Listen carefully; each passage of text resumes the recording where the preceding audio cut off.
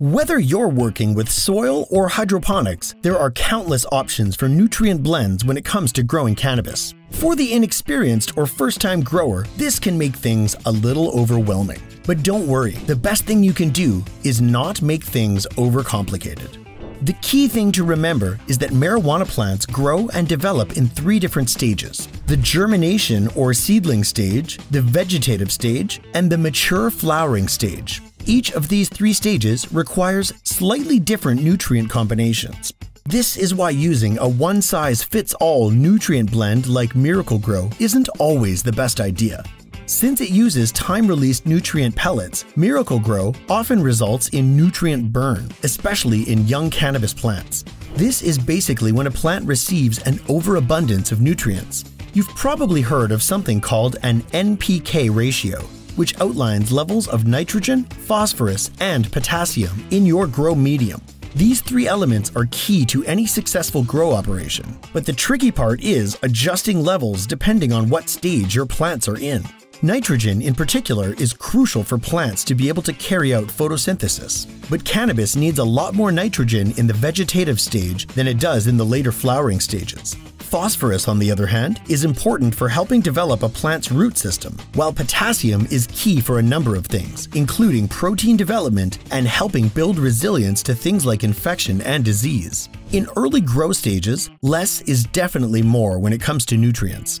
A lot of experienced growers favor high nitrogen levels in this stage. They'll use something like a 3 to 1 to 1 NPK ratio, meaning 3 parts nitrogen to 1 part phosphorus and 1 part potassium. This ratio can vary depending on the specific strain you're growing, but until your plants start flowering, nitrogen levels should always be higher than phosphorus and potassium levels. Once plants start transitioning into the flowering phase, you'll want to switch up the NPK ratio to something like a 132 or even a 033 in late blooming stages. As far as how to switch up nutrient levels in your soil or where to get the best blends, you've got a few decent options.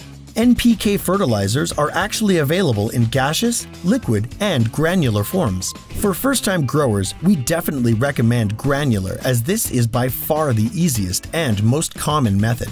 Nutrient granules come in a number of different NPK ratios, so just go to your local nursery, find the blend that you need, and make sure you add the appropriate amount depending on the volume of soil you're using. But don't worry, it should clearly say on the bag how much to add based on soil surface area and pot size. For experienced growers, or if you're trying to do things more naturally, it's entirely possible to make your own DIY NPK blend. This involves carefully mixing things like cottonseed meal, wood ash, limestone, and even kelp meal, then carefully monitoring levels of nitrogen, phosphorus, and potassium. We won't go into detail in this video on how exactly to do that, but if you want to learn more, be sure to read our advanced grow guide on how to grow organic cannabis using DIY nutrient blends. All in all, choosing the right nutrient blend for your cannabis plants can be as simple or as complex as you want it to be. As a rule of thumb, when you're first starting out in the vegetative stage, make sure your nitrogen levels are at least double the level of phosphorus and potassium. Then, as your plants mature and develop, slowly taper the nitrogen off until you've almost eliminated it entirely by the late flowering stage. And of course, for the absolute best yields, make sure you're staying on top of things like light cycles, temperature and humidity, soil pH, and so on.